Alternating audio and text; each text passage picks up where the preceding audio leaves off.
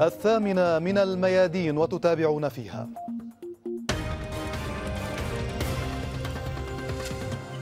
بغداد محطة زيارات الملك الأردني ووزيري خارجيتي فرنسا وإيران. عقب لقائه الحريري مساعد وزير الخارجية الأمريكي يهاجم حزب الله وقلق في البنتاغون من تسبب بولتون بحرب بين واشنطن وطهران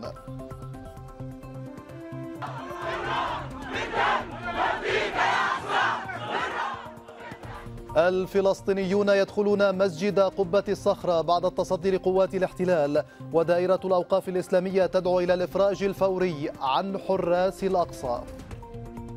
الثورة ما زالت والثورة لم تمت ونتمنى أن الكلمة دي توصل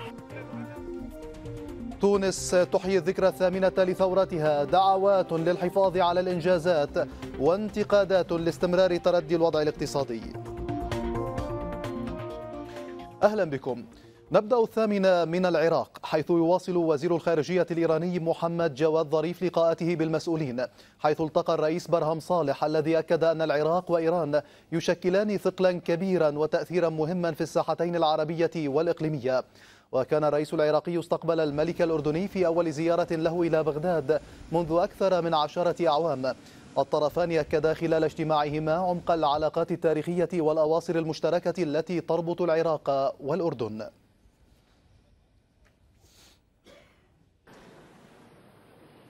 رئيس الوزراء العراقي عادل عبد المهدي استقبل بدوره الملك الأردني وأكد مكتب عبد المهدي في بيان صادر عنه أن الطرفين بحثا تعزيز العلاقات الثنائية بين البلدين.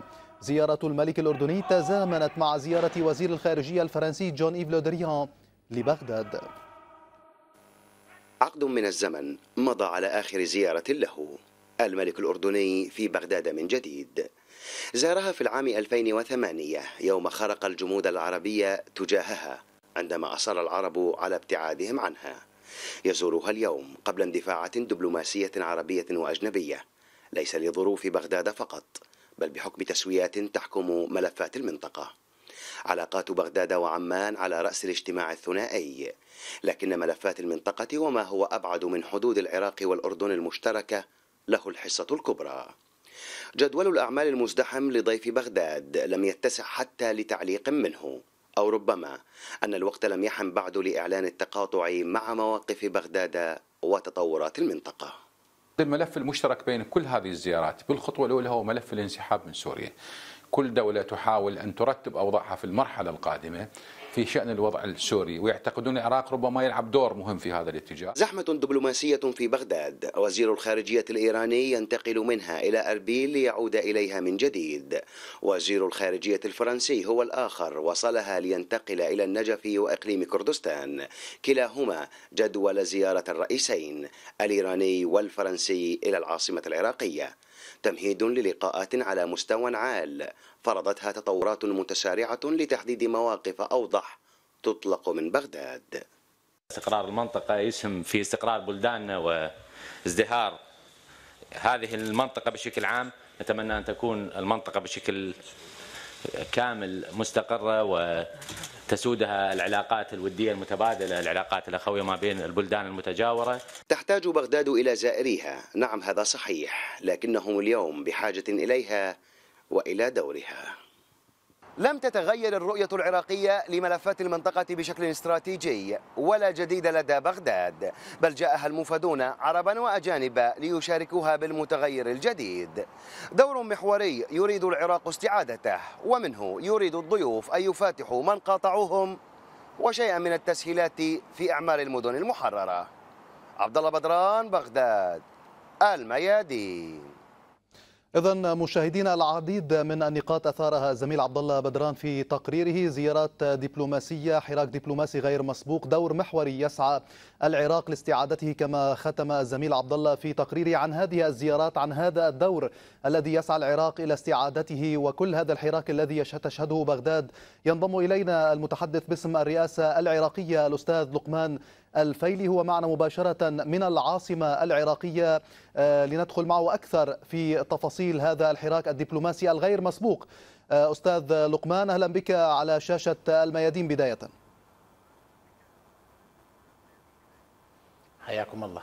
أستاذ لقمان يعني كما ختم الزميل عبد الله بدران إلى انه العراق كما هو يحتاج إلى هذه الدول اليوم التي تقوم بزيارته هي أيضا بحاجة إليه. وهناك كلمة إذا يمكن وصفها بالكلمة المفتاح أن العراق يسعى إلى استعادة دوره المحوري. هل فعلا العراق من خلال هذا الحراك الدبلوماسي الغير مسبوق في مطلع هذا العام الذي تشهده العاصمة العراقية بغداد يسعى لاستعادة هذا الدور؟ وليست هذه الزيارات فقط تقتصر على العلاقات الثنائية ما بين العراق والضيوف الذين يفدون إلى العراق. بسم الله الرحمن الرحيم. شكرا على الاستضافة. أهلا بك. آه، العراق يبحث عن دور مهم لحاجة المنطقة إلى العراق العراق يبحث عن دور مهم لحاجة العراق إلى المنطقة. العراق دولة مهمة بثقلها بجيوسياسيتها بوزنها الاقتصادي. آه، تاريخيا كانت من محور المنطقة. الآن ضروري أن يعاد النظر بهذا العمل وتفعيله. العراق الآن انتهى من حرب داعش حرر الأراضي. المجتمع ككل تحرك على هذا الملف. الآن المجتمع يبحث عن رفاه يبحث عن استقرار يبحث عن استقرار في المنطقة. الحكومة الجديدة آه، هادفة تعمل وتسعى لتقوية العلاقات مع دول الجوار على مستوى الثنائي وعلى مستوى التعددي أيضا فزياراتنا إلى دول المنطقة وزيارة آه، اليوم مثلا كان امثل على زيارة فخامة جلالة الملك ووزير الخارجيه الإيراني هي رد على زياراتنا لهم فبالنتيجة هو النوع من الحوار البناء للبحث عن المشكلات المشتركة والبحث عن تحديات المنطقة كملف سوريا مثلا. آه، أستاذ لقمان هي آه، تبادل زيارات فقط أم أنه أيضا مرتبطة ربما بالوضع الاقتصادي والبعض يقول أنها حتى مرتبطة بالوضع العشائري في العراق خاصة أن هناك حدود مشتركة ما بين الأردن والعراق. ومن المعروف أنه تاريخيا آه، للأردن علاقة قوية في مع العشائر غرب العراق. هل سيكون للأردن دور أيضا مع العشائر لتثبيت وتقوية آه، أواصر الاستقرار في العراق وتقريب أكثر وجهات النظر ما بين المكونات العراقية خاصة أنه الملك الأردني سيكون له آه، لقاءات أيضا مع شخصيات سياسية عراقية. لا لقاءات الملك الأردني مع شخصيات سياسية لقاءات الوفد العراقي عندما ذهب إلى عمان مع شخصيات معنية بالحراك الجانب الاقتصادي أو السياسي. هو شيء طبيعي لتقوية العلاقات. الملف هي من بغداد الملف هي من عمان. طبيعة الحوارات معنية بتقوية العلاقات الثنائية معنية بالبحث عن المشتركات مثلا مناطق صناعية حرة آه، حديث عن pipeline آه، من من بصرة إلى إلى عمان. ثم إلى إلى قد تكون إلى مصر أو غيرها. فبالنتيجة البحث عن الملفات المشتركة أكثر ما البحث عن الجانب المحلي إذا صح التعبير. آه، أردن مرحب بها أن أن تقوي علاقاتها مع كل أنواع العشائر وغيرها ولكن في نفس الوقت ما أعتقد هذا كان أي محور من محاور الحديث بل الحوار كان حول تقوية العلاقات والبحث عن المشتركات متعلقة بالجاليات نعم متعلقة بسمات الدخول لرجال الأعمال متعلقة بالطاقة ملفات مهمة معنية ناهيك عن مثل ما ذكرت آه، من تحديات المنطقة الملف في سوريا الانسحاب الأمريكي القريب آه، الحصار ضد الجمهورية الإسلامية في إيران. إيران الحديث عن هذه القضايا. هذه ملفات ضروري أن نبحثها مع جيراننا الإيرانيين أو مع جيراننا الأردنيين. طب أستاذ آه، لقمان ما هو الدور؟ يعني تتحدث عن موضوع انسحاب آه، الأمريكي من آه، سوريا وكان هناك زيارة لوزير الخارجية الأمريكي مايك بومبيو إلى العراق بداية ما هو الدور الذي يمكن أن يلعبه العراق فيما خص هذا الانسحاب؟ دولة جارة. إذا خطر الأمن العراقي في خطر يكون إذا كان هناك إحياء معين إلى داعش. داعش انتهت عسكريا أيديولوجيا وأمنيا ضروري أن تعالج. التحدي الموجود في سيناء التحدي الموجود في في دول المنطقة في في سوريا. آه، موضوع الإرهاب وخطرها على تركيا مثلا. هاي كلها ملفات ضرورية أن تأخذ نظر اعتبار. زيارتنا إلى تركيا تحدثنا عن موضوع في سوريا، زيارتنا إلى الأردن تحدثنا عن تواصلنا المباشر مع الحكومة في سوريا آه، وكيفية تقوية العلاقات، البحث عن الأمن أمن الحدود المشترك. هذه قضايا آه، ضرورية وآنية معنية بأمن العراق. فهذا الحراك الدبلوماسي وهذه الحيوية والفعالية الدبلوماسية هي منطلقة من قاعدة أولويات العراق، أولويات العراق إعادة العافية إلى الدولة وتقوية علاقاتها الثنائية وعلى غرار العمل على استقرار المنطقة. أستاذ لقمان بما أنك ذكرت سوريا والحوارات التي تجري إن كان في تركيا وعدة مناطق تقول أنه يتم الحديث عن سوريا هل يلعب العراق دور ما ما بين سوريا وبعض الدول خاصة أنه يعني كان هناك زيارات لمسؤولين عراقيين إلى سوريا والعلاقة بين العراق وسوريا أيضا يعني كانت علاقة طبيعية طوال سنوات الماضية والعراق هو من الدول التي رفضت أي تدخل عسكري في دول جوار العراق هل لعبتم أي دور فيما خص علاقات سوريا بمحيطها أو حتى علاقات ربما الدولة في سوريا وبعض الأطراف في المعارضة السورية؟ استقرار سوريا الداخلي مهم. آه، احترام السيادة السورية مهم عندنا.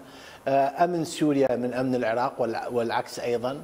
آه، حواراتنا المستمرة مع سوريا معنية في ملفات الإرهاب معنية في ملفات أخرى مهمة لنا اقتصادية. فبالنتيجة تواصلنا المباشر مع الحكومة في سوريا تواصلنا المباشر مع الأطراف المعنية بالاستقرار في سوريا مهم لنا وأيضا وسوريا تقدر هذا الشيء. آه، هل العراق يتدخل في الشأن السوري؟ أكيد لا. دستورنا يمنع هذا الشيء وإحنا عندنا قرار عراقي بالابتعاد عن هذا النفس السابق. آه، العراق يبحث عن استقراره، هناك مشكلة متعلقة بالأمن الحدود بين البلدين.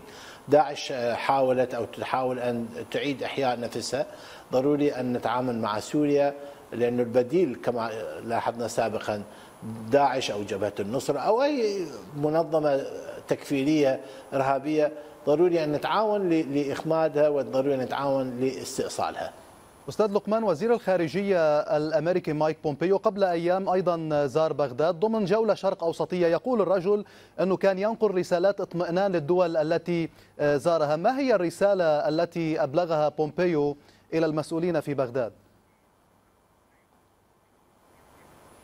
عموما كانت الزيارة إلى العراق وزيارة إلى المنطقة آه، استمرار إلى نهج أمريكي بالابتعاد عسكريا قدر الإمكان. الخروج من سوريا كان قرار أمريكي. رسالة إلى المنطقة أنه أمن العراق سيبقى مهم للولايات المتحدة. التعاون الأمني بموضوع داعش اتفاقية طار استراتيجي تقوية العلاقات هذا راح سيستمر. هناك ملفات مهمة معنية بالجانب الاقتصادي بين البلدين. الرسالة الأساسية كانت أنه مع خروجهم من سوريا هذا لا يمنع ولا وضروري أن لا يمنع آه، تقوية العلاقات مع الولايات المتحدة على مستوى الأمني والاقتصادي والسياسي. بما أننا نتحدث عن الولايات المتحدة أستاذ آه، لقمان وخاصة أن العراق رفض آه، كل في, في كل السنوات الماضية أن يكون منصة ضد أي من دول الجوار. الولايات المتحدة دعت الشهر المقبل إلى اجتماع آه، في وارسو في الرابع عشر من شباط. هي قالت صراحة أنه موجه ضد إيران. في حال تم توجيه دعوة إلى العراق لحضور هذا المؤتمر وهو يأتي أيضا من ضمن الحراك الدبلوماسي الذي تشهده بغداد. كيف سيتعامل العراق؟ خاصة أنه أي حتى لبنان يعني هناك مفد أمريكي آه، في لبنان ديفيد هيل طلب من لبنان أيضا أن يحضر في هذا المؤتمر. كيف سيتعامل العراق في حال طلب منه أن يشارك في هذا المؤتمر في مؤتمر وارسو؟ لدينا رغبة وقرار عراقي بتقوية العلاقات مع الولايات المتحدة ولدينا قرار عراقي بأنه إيران جارة استراتيجية لنا أيضا.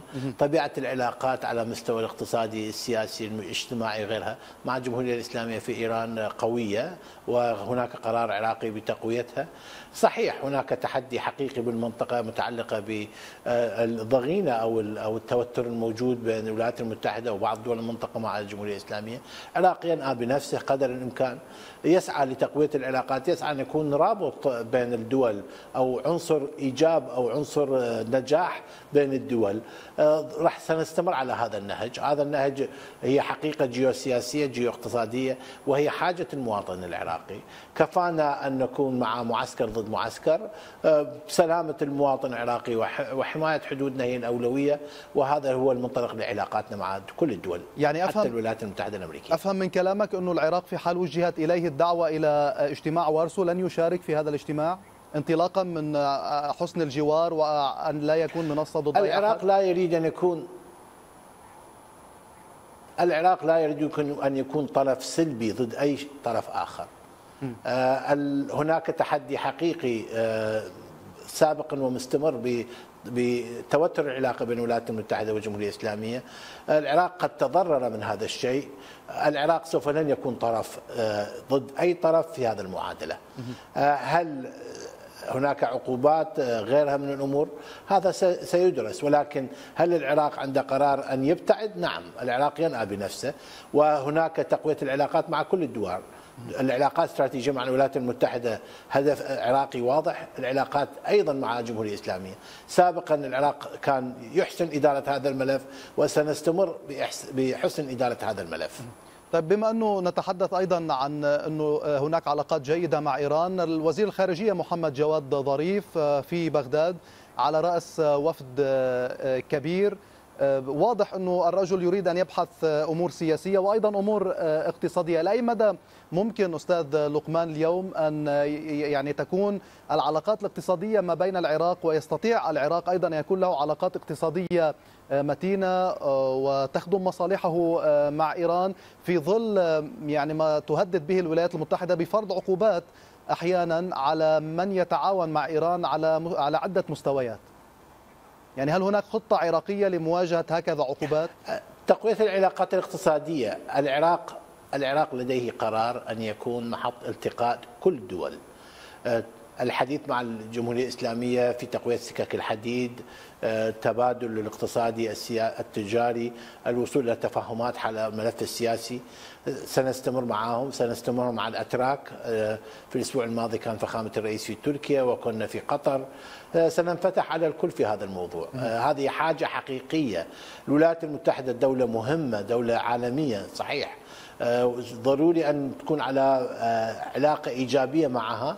ولكن في نفس الوقت الواقع الجغرافي يفرض نفسه على العراق. الحدود ناهيك عن عن رغبة العراق في تقويه العلاقات مع دول الجوار يعني ممكن ان إذا أردنا أن نأتي بخلاصة من الكلام الذي تفضلت به انه العراق يريد أن يكون ساحة تلاقي أن يكون ربما جسر لتلاقي هذه الدول المتنازعة هل يمكن أن يتطور ذلك أستاذ لقمان لحصول تسويات ما يكون العراق ربما أحد عرابي هذه التسويات؟ أستطيع أقول بإطمئنان وأنا كنت السفير في واشنطن لمدة من الزمن أن العلاقات العراقية الأمريكية في موضوع إيران أيضا كان نقطة التقاء لم يكن نقطة خلاف. ضروري أن يستمر بهذا النفس، ضروري أن نبحث عن المشترك. الإرهاب داعش كان خطر على كل المنطقة، تهديد إلى كل أمن المنطقة بل أمن العالم ككل. هذا كان مثال العامل الاقتصادي وأهمية العراق على مستوى الطاقة ضروري أن يكون. حاجة الولايات أن تعكس إلى العالم انه العراق دولة مهمة ضروريه أن نسمعها من عندهم. ونفس الشيء من قبل إيران ضروري أن نفهم من طهران انه العراق دولة مهمة وهذا ما سمعناه اليوم من الوزير وسمعناه الأسبوع الماضي من الوزير الأمريكي. هذا مؤشرات جيدة علينا حسن إدارة هذا الملف. أستاذ نعم. لقمان هذا تحدي ليس بصغير ولكن إن شاء الله سنحسن الأداء عندما تقول نقطة التقاء ما بين العراق والولايات المتحدة وأنت كنت سفير في الولايات المتحدة فيما خص إيران كيف ذلك؟ يعني كيف كانت نقطة التقاء ما بين العراق والولايات المتحدة؟ موضوع داعش موضوع داعش موضوع داعش موضوع بناء العراق ككل موضوع المعادلة السياسية بعد 2003 اعتراف إيران كانت من أول الدول اعترفت بالعراق الجديد. الولايات المتحدة من أكثر الدول دعمت العراق الجديد. هاي نقطة التقاء فلماذا لا نستفاد من هذا الشيء؟ البحث عن استقرار العراق كان نقطة التقاء. الملاحظة الأساسية أن المواطن العراقي الدولة مسؤولة عليه دولة مسؤولة على رفاهة الدولة مسؤولة على هذا الشيء وبالتالي سنسعى لعمل جهدا على توطيد هذه العلاقات مع هذه الدول. ونبحث عن المشتركات. أستاذ لقمان تحدثت في بداية حديثك أن هناك علاقات تريدون أن تكون جيدة مع سوريا تريدون أن تكون دولة أيضا قوية. أنت أنت الناطق الرسمي أنت الناطق باسم الرئاسة العراقية. انطلاقا مما تفضلت به وحرصكم على على على العلاقات مع العراق ومحيطه. هل يمكن أن نرى الرئيس برهم صالح في زيارة في زيارة إلى سوريا؟ خاصة أنه كان هناك حديث ومعلومات كثيرة تتحدث عن ذلك. هناك قرار عراقي بالتواصل مع الكل. زياراتنا إلى دول الجوار ودول المنطقة والدول المهمة لم تنتهي. زيارات الرئيس كانت تعريفية بالحكومة الجديدة. هناك تواصل مستمر مع الحكومة في سوريا. هناك قرار عراقي باستقرار سوريا وأمن سوريا من أمن العراق وبالعكس أيضا. مسؤولين عالي مستوى ذهبوا من العراق إلى من بغداد إلى دمشق وهذا سنستمر. تاريخ الزيارة لم يحدد كما ذكرت أنا سابقا رسميا ولكن هل هناك رغبة بتقوية العلاقات؟ نعم هناك رغبة بتقوية العلاقات العراق يرحب برجوع سوريا إلى المجتمع العربي إذا صح التعبير وهذا سنستمر عليه. سؤال أخير. هناك أه، يعني زيارة لوزير الخارجية الإيراني ووزير الخارجية الفرنسي جون إيف لودريون الرجلان موجودان في بغداد وهناك تحضير لزيارات للرئيس الفرنسي وللرئيس الإيراني حسن روحاني. هل تم تحديد هذه المواعيد بالنسبة للزيارتين إلى العراق؟ استجابة إلى دعوة قدمها فخامة الرئيس إلى الرئيس روحاني آه، هنا اليوم استلمنا رسميا الإجابة بهذا الشيء وهو إن شاء الله سيكون قريب. آه، بخصوص مجيء الرئيس الفرنسي الجدول لم يحدد لحد الآن ولا أتوقعه أن يكون قريبا. شكرا جزيلا لك الناطق باسم الرئاسة العراقية. بل على العكس نعم. بل, بل عفوا على العكس عفوا.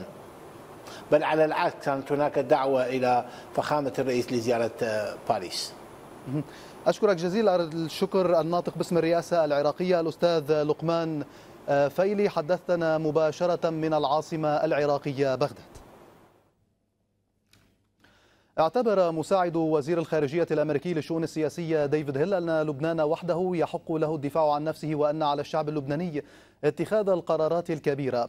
وفي تصريح له من بيت الوسط في بيروت عقب لقائه رئيس الوزراء المكلف سعد الحريري قال هيل إنه لا يجوز أن يكون هناك ميليشيا خارج الدولة تهدد الاستقرار وفق تعبيره. واصفا حزب الله بالمنظمة الإرهابية. هيل قال إن نوع الحكومة التي ستؤلف مهم للجميع. ندعم الجيش اللبناني والقوى الأمنية لتأمين الحدود والحفاظ على الأمن الداخلي في لبنان. نواصل بذل الجهود لمواجهة الأنشطة الخطيرة في المنطقة ومنها تمويل المنظمات الإرهابية كحزب الله. لبنان وحده يحق له أن يدافع عن نفسه. وهذا هو حق للدولة اللبنانية وحدها ولا يجوز أن يكون هناك ميليشيا خارج الدولة تقوم بحفر الأنفاق على الخط مع إسرائيل أو جمع ترسانة من مئات الصواريخ تهدد الاستقرار في المنطقة. المجتمع الدولي يراقب عن كثب موضوع تأليف الحكومة وهو يعود إلى لبنان وحده ولكن نوع الحكومة التي سيجري تأليفها مهم للجميع نظرا لاهتمامنا بتحقيق الاستقرار في لبنان. نشجع حكومة تصريف الأعمال على مواصلة عملها للحفاظ على الاقتصاد ومنع المزيد من الضرر في البلاد. أبدى مسؤولون في البنتاغون قلقا متزايدا من أن تؤدي تصرفات مستشار الأمن القومي الأمريكي جون بولتون إلى اندلاع حرب بين واشنطن وطهران وفق ما نقلته صحيفة نيويورك تايمز. الصحيفة قالت إن البنتاغون رد على طلب بولتون إعداد خطة لشن هجوم على إيران بطرح عدة خيارات بما في ذلك شن هجوم جوي عابر للحدود على منشآت عسكرية إيرانية. مؤكدة أن وزير الدفاع آنذاك جيمس ماتيس وغيره من كبار المسؤولين في وزارة الدفاع عارضوا بشدة هذا السيناريو.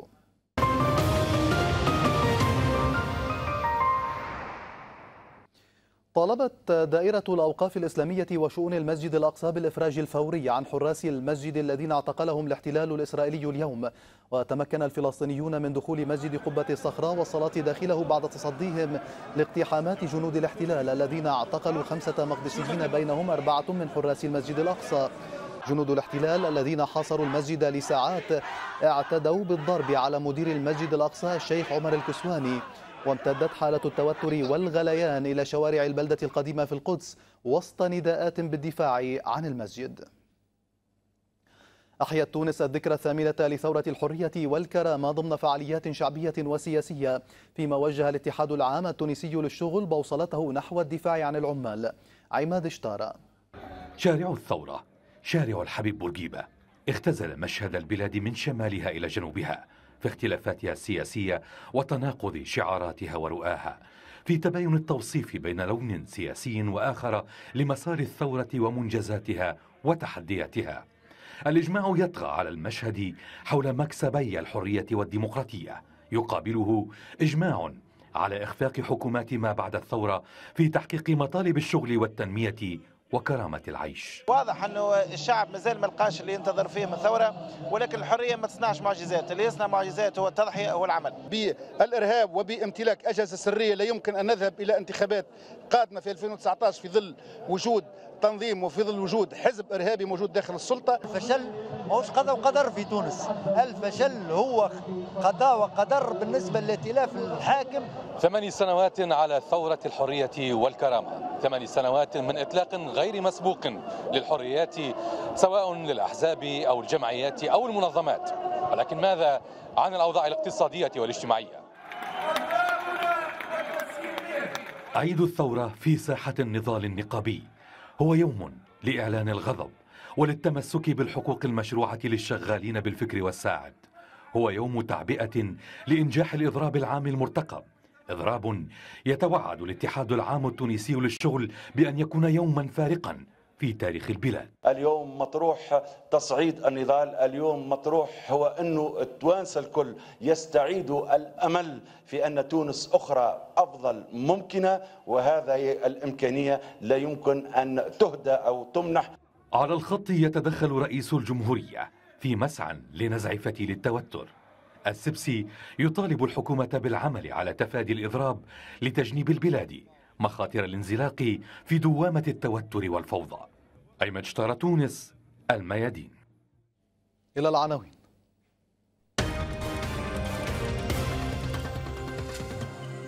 بغداد محطة زيارات الملك الأردني ووزيري خارجيتي فرنسا وإيران. عقب لقائه الحريري مساعد وزير الخارجية الأمريكي يهاجم حزب الله. وقلق في البنتاغون من تسبب بولتون بحرب بين واشنطن وطهران.